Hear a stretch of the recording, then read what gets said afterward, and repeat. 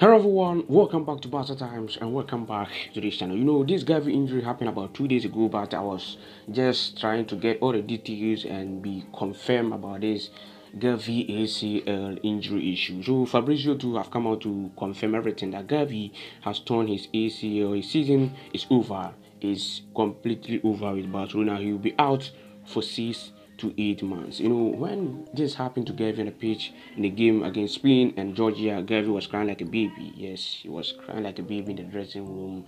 You know, aside Gavi going to stay at home for a long time, this thing right here is very, very painful. Yes, of course, all footballers around the world never want to experience this kind of injury and it seems some of you don't understand the ACL very well so here is the meaning of that ACL a anterior cruciate ligament in the knee so this is a tissue that connect the thigh bone so as you can see here the thigh bone to the shin bone at the knee yes. So this this um, tissue right here you see is what Gavi has torn his own. And for you to recover from this kind of injury it will take you six to eight months. Of course course, here I'll blame the Spanish coach De La Fuente because he said Gavi is the one who came out to say he want to play so that I can break Ramos' record and all of kind of things. You, just have to know Gavi is just 16, um, 19 years old. So sometimes you have some little bit of um, joy to enjoy himself a lot. But you, as a coach, you need to know he's just a young boy. His mind can tell him what to do, but you need to take some um um let me see some some command. You understand? If you say you can, you we want to bend Gavi. I don't think the player can force himself like no, no matter what, I want to be in the lineup. That's why you are a coach. You have to take decision. You have to make decision. You never allow 19 year old boy to make decision for you that I want to play. So let me be in the lineup.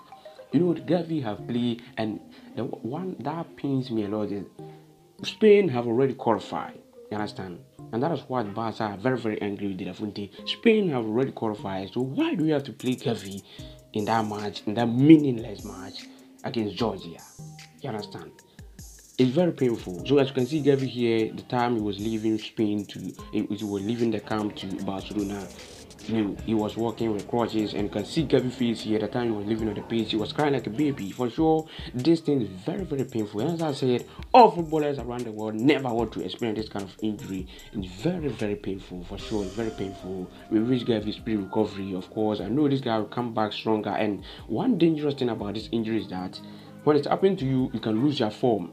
You understand? The form that you were in can never return again. But at different side too he can also return but we wish Gavi speedy recovery and we know his form will come back stronger than ever and that is all for today guys i don't know how to see I'll see you guys soon in the next one. But I thank you guys for your support and also for watching this video. We all wish the best recovery for Gavi since it's going to be out for six to eight months.